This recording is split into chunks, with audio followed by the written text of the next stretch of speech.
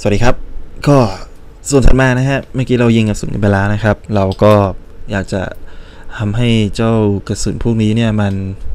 มีความสามารถทางฟิสิกส์นิดนึงนะฮะ เพราะว่าเราเห็นเจ้ากระสุนพวกนี้ไปแล้วเนี่ยมันเคลื่อนที่เป็นลักษณะแบบ fix นะครับ ก็คือไม่ได้ทำตามกฎฟิสิกส์นะครับเป็นรูปภาพเฉยพุ่งไปตามที่เรากำหนดนะฮะแต่ทีนี้เราอยากให้มันเป็นสักฟิสิกส์นิดนึงนะครับ แล้วก็ถ้ามันออกห่างจากเราไปแล้วเนี่ย ได้ระยะทางหนึ่งก็ให้มันยกเลิกการเป็นฟิสิกส์นะครับ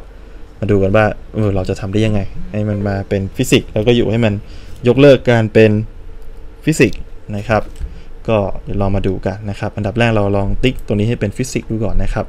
ดูว่าผลลัพธ์มันจะเป็นเช่นใดนะครับ จริงนะฮะ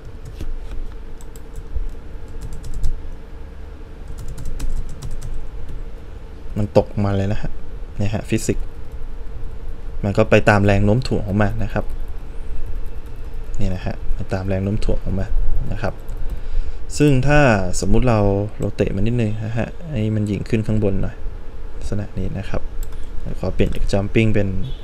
shooting ปกติแล้วกันนะฮะจะได้ยิงง่ายๆนะก็ขึ้นอยู่กับว่าแรงที่เรากำหนดเนี่ย มันแรงเยอะแค่ไหนนะครับ สมมติตั้งไว้200ปุ่มนี่แรงไป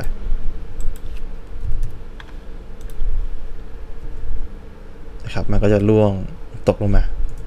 ลักษณะนี้นะครับ เพราะฉะนั้นข้อจริงๆเนี่ยไอตัวกระสุนของเราเนี่ยก็จะทำให้เป็นฟิสิกส์ก็ได้นะครับ มันก็จะกลายเป็นวิธีการตั้งปอมยิงนะครับ ก็สนุกไปอีกแบบนะครับ เพราะต้องมานั่งลุ้นนะฮะซึ่งแน่นอนว่าเราก็คงอยากให้เจ้ากระสุนพวกนี้เนี่ยยิงไปแล้วก็ลองยกเลิกเป็นฟิสิกส์ดูว่ามันจะ เกิดอะไรขึ้นนะครับ ซึ่งไอ้วิธีการยกเลิกการเป็นฟิสิกส์เนี่ย เราสามารถใช้ได้โดยเลือกตัว wake up ตัวนี้นะครับ wake up ตัวนี้ ครั้งที่แล้วที่เราดูวิดีโอ wake up กันไปเนี่ย มันก็เราใช้ตัว wake up ตัวนี้นะครับ แต่เรายังไม่ได้ใช้ตัวนี้เลยคือตัว sleep นะครับ sleep คล้ายกับ wake up ครับ ก็คือเป็นการนอนยกเลิกการเป็นฟิสิกส์นั่นเองนะครับ ให้มันยกเลิกการเป็นฟิสิกส์เลย ก็ผ่าน distance ได้นะครับ ก็คือเกินเราไปสักเท่าไหร่ เราจะให้มันยกเลิกการเป็นฟิสิกส์ได้ นะครับมันยกเลิกเป็นฟิสิกส์เนี่ยนะฮะจะสังเกตว่ามันก็ไม่ได้ต่างอะไรสักเท่าไหร่นะครับอตอนแรกของเราจะเป็นอย่างนี้นะครับเนี่ยแล้วก็ทะลุไปเลยนะครับ คือถ้าทะลุไปเลยแบบนี้โอเค ไม่ค่อยมีปัญหาเท่าไหร่นะครับ เพราะว่า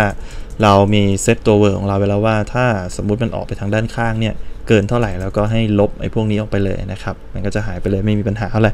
แต่ว่าถ้าสมมุติว่าไอ้กระสุนที่เราปล่อยออกไปตรงนี้เนี่ยมัน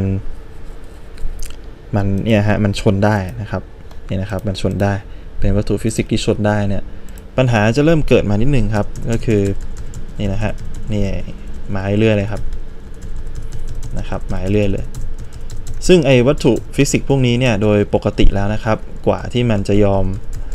หยุดการคำนวณนะฮะ มันก็จะใช้เวลาสักพักหนึ่งนะครับ พอมันไม่เคลื่อนที่แล้วมันก็จะหยุดการคำนวณนะครับ โดยปฏิกิริยามันเองนะฮะ ซึ่งบางทีเนี่ยบางอันมันก็ยังคำนวณอยู่ตลอดเวลาครับ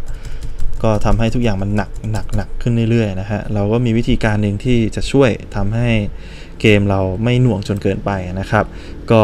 โดยใช้ตัว sleep ตัวนี้นั่นเองนะครับ ที่เราเห็นไปแล้วนะฮะเรื่อง sleep เมื่อกี้เรากำหนดเป็น distance 5 นะครับเเราก็สามารถจะกำหนดไปก็ได้ครับว่า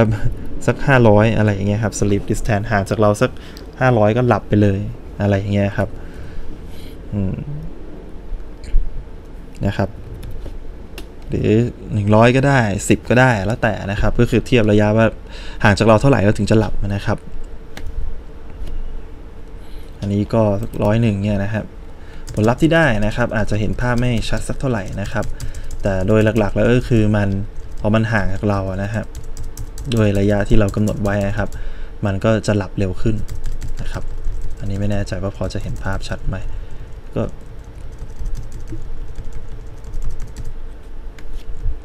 การทำแบบนี้เนี่ยมันจะทำให้ มันประมวลผลน้อยลงเลยนะครับ ประมวลผลน้อยลงเร็วขึ้นนะครับ อะไรก็แล้วแต่ที่เรายิงออกไปตรงนี้เนี่ยเราบอกว่าเกินตัวฉันไปแล้ว ให้คุณหลับไปเลยนะ ก็สามารถใช้ตัวสลิปเนี่ยนะครับในการที่ช่วยได้นะครับช่วยได้ เพราะปกติโดยทั่วไปแล้วก็คือเวลาที่เราสมมติเดินผ่านในตัวนี้แล้วกันนะฮะแล้วก็ให้มันพุ่งขึ้นมาใช่ไหมครับเนี่ยนะครับ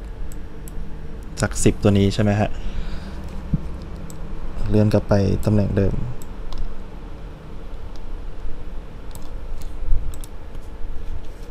ขอเข้าใกล้นะครับ ตอนนี้มันยังหลับมันสีเขียวแน่นะฮะ ตื่นปุ๊บสักสิบประมาณนี้นะครับ ก็จะสังเกตว่านี่มันก็ยังตื่นอยู่นะฮะซึ่งโดยปกติแล้วเนี่ย ถ้า มันเขาไม่มีปัญหาหรอกถ้าเราผ่านไปอย่างเงี้ยฮะ มันก็จะเริ่มลบตัวละครออกแล้วนะครับ แต่เพื่อ